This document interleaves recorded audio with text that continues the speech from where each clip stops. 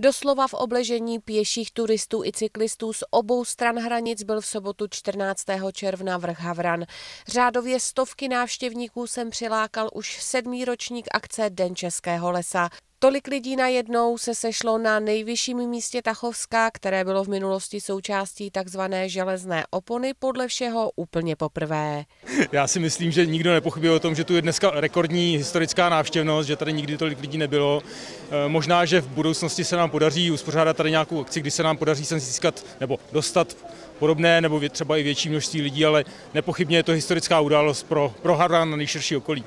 Výběr této lokality nebyl ale pro uspořádání letošní akce nijak náhodný. Hlavním bodem bohatého programu bylo totiž slavnostní otevření bývalé vojenské hlásky Havran, která prošla v uplynulém období kompletní rekonstrukcí. Ono se to nabízelo, protože eh, ono bylo třeba jeden z těch ročníků věnovat eh, turistice, věnovat přístupnosti Českého lesa, nabídnout vlastně návštěvníkům nejenom ty pamětihodnosti a ty přírodní eh, krásy, ale nabídnout jim i nějakou infrastrukturu, kterou jako turisti můžou využívat ta, ta věž se přímo nabízela. Jak už jsme informovali v minulosti, záchranu objektu si vzal za své klub vojenské historie a sportu Tachov. Snažení nadšenců začalo na podzim roku 2009, kdy si přečetli článek, že armáda chce hlásku zbourat. No, my jsme tehdy seděli v hospodě a přišlo nám to líto, že zachránit Havran bude dobrý nápad. Na jeho proměnu ve veřejnou rozhlednu se klubu podařilo získat dotaci z Evropské unie. Dotáhnout vše do úspěšného konce nebylo samozřejmě vždy jednoduché, výsledek ale rozhodně stojí za to.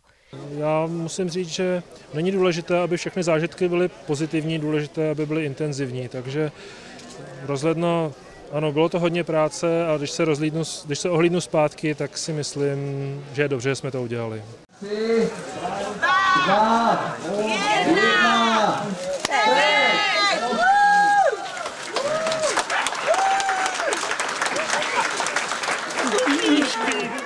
Symbolickou pásku kromě jiných přestřihl Václav Ilčík, autor několika publikací zaměřených právě na vojenská zařízení, jako bylo na Havranu.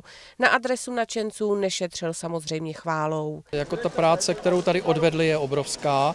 Eh, jsem ze zástupci klubu vojenské historie sportu v Tachovu eh, od začátku v kontaktu. Eh, zpracoval jsem pro něj část té historie tohoto stanoviště. V každém případě ale jejich úloha je tady obrovská, řekl bych, nezastupitelná. Obdobně se v souvislosti s proběhlou rekonstrukcí vyjádřili i další účastníci Dne Českého lesa. Já jenom koukám, já jsem tomu nevěřil, jsem překvapený, je to nádhera a budu se sem rád vracet.